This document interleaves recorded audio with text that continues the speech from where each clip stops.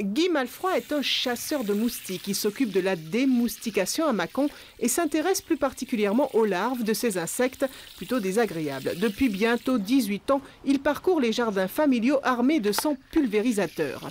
Ce produit-là est un produit euh, classé bio, biologique. Euh, c'est une bactérie. Elle s'attaque uniquement aux larves de moustiques.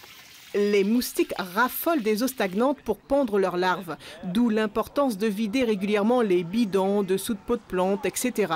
Les jardiniers des jardins familiaux veillent au grain.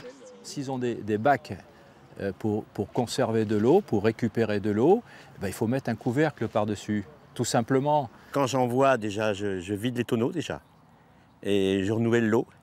Guy s'occupe des moustiques traditionnels, mais depuis quelques années, il doit aussi affronter le moustique tigre. C'est l'entente interdépartementale Rhône-Alpes pour la démoustication qui se charge de poser des pièges pour recenser la population de ce moustique particulier, et c'est le conseil départemental qui gère le recensement.